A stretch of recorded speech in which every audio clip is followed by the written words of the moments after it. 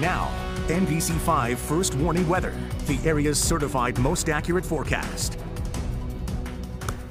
I gotta believe it was a successful day one at the fair with the weather that you ordered for them. Did you pop in to see Flo Rida?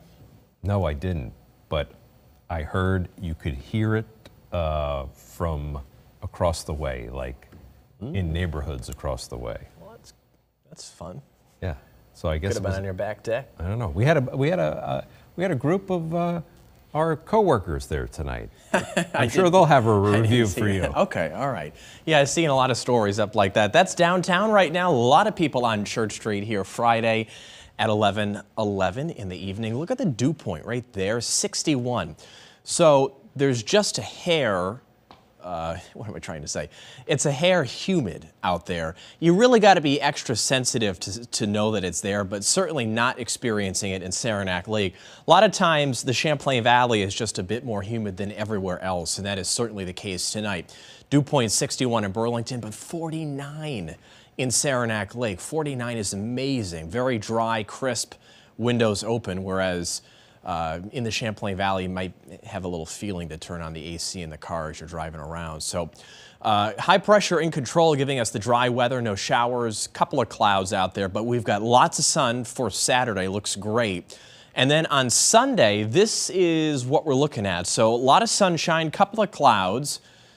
90% dry, I would say, but you'll see what happens here. Notice the clock, 5 p.m. on Sunday. We'll zoom in and show you that there will be a few showers, maybe even a thunderstorm. Now, is the location perfect on this? I don't think so, but the message is somewhere within our region on Sunday, probably a couple of showers around. And so if you're doing something that really cannot get wet, just keep that in mind. Probably just a couple towns getting a 15 to 30 minute downpour. Now, Monday's probably a little wetter than that because there'll be uh, disturbance coming on down from Canada. So there may be like a stripe of showers breezing on in from the north. Again, nothing close to a washout but just a few showers to track for Monday as well. Water temp on Lake Champlain 71. That's great as we go into the final couple of weeks of swim weather. I mean, it's really what it is, a couple more. Wave height one foot or less, so that's nice. Southwest wind five to 10 knots.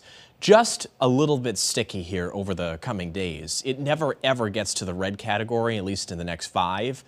But what this dew point of about 60 will do is serve to keep the nights a little bit warmer, particularly in the lower elevations. So as we go forward, the big upper level pattern, which gives us a general feel for how the weather will go, we've got this northwest influence. Northwest is never a scorcher, but it will be seasonably warm through the weekend and most of next week. The scorching heat is in this pink area in the mid part of the country, and it's close but it never really gets here. See how it scoots off to the south and west of us? I mean, this is Thursday of next week.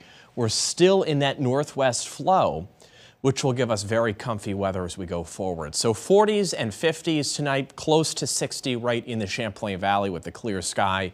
Then sunshine, 81 tomorrow. No showers on Saturday. The tiny shower chance is Sunday. Better shot on Monday. Then we're dry Tuesday. Couple showers Wednesday, Thursday. Gotta watch Labor Day weekend, end of the forecast for some showers, maybe some cooler weather. Fingers crossed it doesn't work out that way, but this is the heads up to check back. Brian? All right, Tyler.